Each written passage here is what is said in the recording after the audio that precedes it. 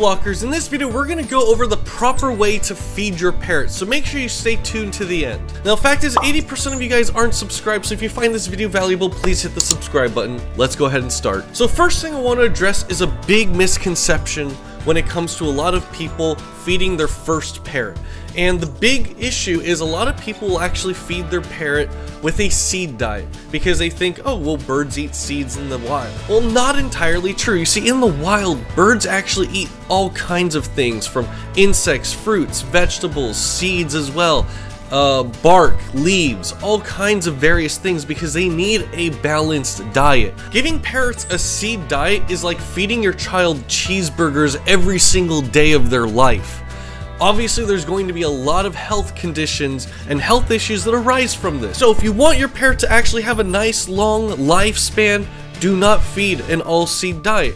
What I recommend instead is to feed your parrot pellets. You see, pellet diets are actually really crucial because pellets are designed to actually have all the balanced nutritions your parrot needs to survive and have a long, healthy life. Now, personally, I use Harrison's Bird Foods as a diet, and I do have links in the description down below for this. And the reason I like Harrison's is it was actually invented by a vet who was sick and tired of seeing poor nutrition from all his clients. So the vet created his own pellet formula that has all the nutritions a parrot in captivity needs to survive and have a healthy life. Now on top of that, parrots still need a varied diet. So as such, I also recommend mixing your pellet diet with some other things occasionally. It's good to offer a daily snack of either fruits or veggies or both, really depending on what your bird likes.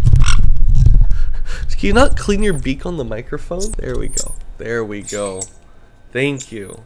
As I was saying, some parrot species prefer vegetables like cockatiels, while other species like tropical birds like sakura, being very high energy, needs a lot more sugar so fruits are what they prefer. So if you supplement all those things together, you will have a very healthy diet for your parrot. But now comes the question what not to feed your parrot, because let me just tell you that list can be pretty long. Alright guys, well, she's gonna be the spokesperson today. So, uh, we're just gonna do the video like this. Because she really likes this microphone for some reason. Fact is, there are also a lot of things you shouldn't be feeding your parrot.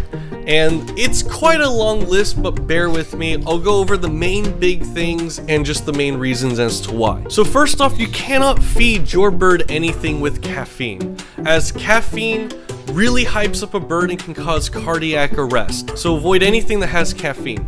Next up is chocolate, because it has caffeine. Avocados contain a chemical called persin that is poisonous to birds. Avoid avocados. You may be tempted to occasionally let a bird snack from you, and while that's okay in very, very trace amounts, avoid anything like diet drinks or diet candies, as sugar-free snacks generally have a chemical called xylitol that causes hypoglycemia and can also kill birds. So avoid that.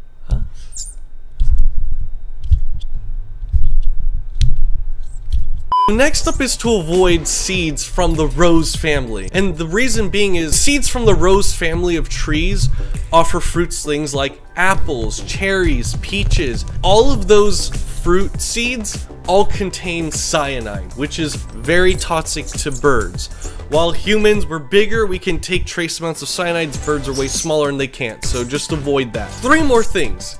Onions, they contain sulfur compounds. That's toxic to birds. Avoid garlic, as that contains allicin, which is a toxic chemical. And last, avoid salty snacks in general. Now, while it's not going to outright kill a bird or anything, birds really struggle with passing off salt, so you want to keep it into very, very trace amounts, like barely a nibble, and that's about it. But just, just avoid salty foods in general. So, is that about sums it up? Thank you guys for watching. Hit subscribe. See you next time.